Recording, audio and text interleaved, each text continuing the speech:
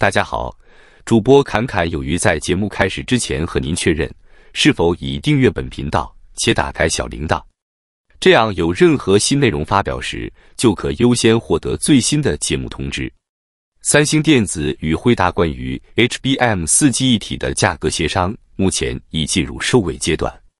据悉，三星内部设定了与 SK 海力士同价作为谈判目标。旨在改善其 HBM 产品的整体平均售价。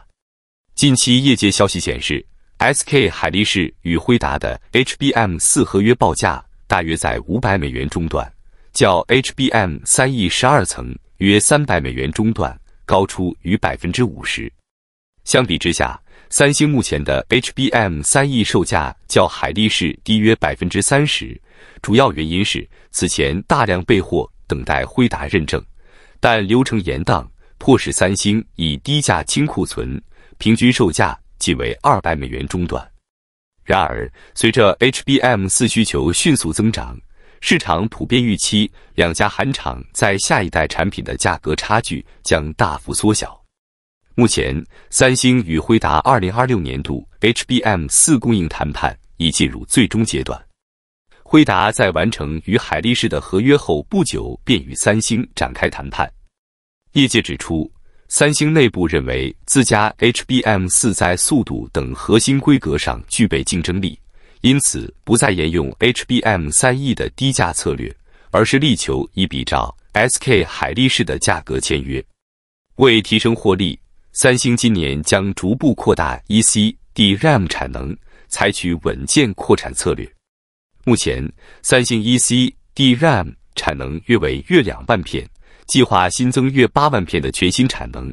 再加上将成熟制程转换为 EC 的既有产线，总产能预计在二零二六年底前达到约十五万片，并正式用于 HBM 四量产。市场同时关注三星能否于今年底通过辉达认证，若审核顺利。三星最快有望在二零二六年第二季进入供应链，改变原先预期海力士独攻上半年，三星自下半年接棒的格局。然而，目前三星 EC DRAM 在 HBM 四的良率仅约百分之五十，量产良率是否能在上半年改善，仍是影响其实际出货节奏的最大变数。此外，据业界分析。三星在 HBM 四市场的积极布局，不仅有助于提升其在高阶记忆体市场的竞争力，也将对整个记忆体市场格局产生深远影响。随着人工智慧、高效能运算等领域的快速发展，HBM 四需求持续攀升，三星的产能扩张和良率提升将成为其抢占市场份额的关键因素。不过，人工智慧的迅猛发展。正引发全球记忆体晶片的历史性短缺。据业内人士透露，主要云服务提供商 CSP 为应对这一局面，纷纷签署多年长期协议 LTA，以确保2027年和2028年的记忆体供应。2026年的记忆体产能几乎已被完全预定，全年将持续面临短缺。这一前所未有的伺服器短缺，主要源于人工智慧推动的伺服器需求激增。通讯服务提供商巨头们在二零二五年下半年积极采购后，正为二零二六年至二零二七年储备更多伺服器，采购量远超实际需求。记忆体制造商的扩张计划无法跟上迅猛增长的需求，导致全年产能几乎全部被预定。这一转变显著提升了卖方的定价能力，确保了2026年全年价格持续上涨，即使在下半年也不会出现下跌。伺服器供应商为在人工智慧竞赛中不落后，愿意支付溢价以确保容量，成为供应商的优先客户。一些通讯服务提供商甚至提供更优惠的条款。如预付款或设备融资，以提前锁定二零二七年至二零二八年的容量。值得注意的是，短缺问题不仅限于 DRAM，NAND 快闪也面临类似限制。群联电子执行长潘建生指出，NAND 快闪价格迅速上涨，部分供应商在缺货情况下仍提价。伺服器 OEM 厂商证实，AI GPU 的输出和良率稳定，但记忆体短缺仍是供应链的关键瓶颈。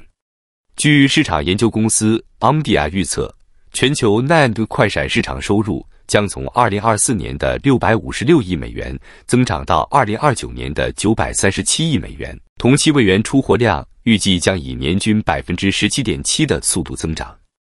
在长期协议的签订方面，只有少数通讯服务提供商能够获得涵盖2027年的长期协议，其他大多数通讯服务提供商最多只能获得一年的合同。一家公司高管表示，百分之九十的公司未能签署长期协议，大多数公司只能讨论月度协议，甚至连一个月后的协议都无法确定。预计未来六至九个月内，价格还将上涨百分之五十。在主要供应商短期内产能增长有限背景下，这一系列动态表明，全球记忆体晶片市场正面临前所未有的挑战。各大企业纷纷采取措施应对供应短缺和价格上涨的压力。未来几年，记忆体晶片市场的供需关系和价格走势将继续成为业界关注的焦点。与此同时，三星电子先进技术研究院 （SA8） 的研究人员率先在全球范围内发现了一种机制，可将现有 NAND 快闪的功耗降低近乎百分之一百，有望为解决人工智慧 AI 时代的电力危机做出贡献。三星电子宣布，由 SA8 和半导体研究所的三十四位研究人员共同撰写的题为《用于低功耗》。NAND 快闪的铁电电晶体的论文已发表在著名学术期刊《自然》上。这项研究代表了一项基础性技术，它首次在全球范围内发现一种核心机制，与现有技术相比，利用铁电材料可将功耗降低高达百分之九十六。这项研究是 SA8 和半导体研究所三十四位研究人员的独立研发成果。他们共同撰写了该论文。SA8 公布的研究证实，通过结合铁电材料和氧化物半导体材料的 NAND 快闪结构，与现有技术相比，在 NAND 快闪中单元串联的结构的单元串操作中，功耗最多可降低百分之九十六。现有的 NAND 快闪通过向单元注入电子来存储资料，为了增加存储容量。必须增加单元堆叠层的数量。然而，由于 NAND 快闪的结构特性，讯号需要依次通过串联的单元进行传输，因此随着堆叠层的增加，所需的电压也会升高，从而导致读写功耗增加。因此，下一代 NAND 快闪的研究利用了铁电材料的特性，这种材料可以通过自发改变极化来存储资料。而无需向单元注入电子。然而，容量增加和功耗降低之间的权衡关系仍然没有得到解决。三星电子 SA8 的研究人员在氧化物半导体的固有特性中找到了解决这一问题的方案。氧化物半导体虽然普遍存在难以精确控制阈值电压的缺点，但其优势在于漏电流极低。研究人员首次在全球范围内发现，氧化物半导体难以控制阈值电压的特性，与铁电材料的极化控制效应相结合，可以作为核心机制，显著降低单元串运行所需的电压。通过这一机制，他们验证了在保持目前最高水平，即每个单元五位元高容量的同时，功耗最多可降低百分之九十六。这被认为是通过材料开发和结构理解，克服了现有 NAND 快闪的结构限制。该技术商业化后，有望提升从大型 AI 资料中心到行动和边缘 AI 系统等各个领域的能效。降低功耗可以降低资料中心的营运成本，并延长行动装置的电池续航时间。由此可见，三星电子通过展示。有助于开发革命性低功耗、高容量固态硬碟 SSD 的技术方向，确保了其未来的竞争力。那么本期内容到这里就结束了，感谢你的观看，期盼能与你产生共鸣。侃侃而谈，阔论有余。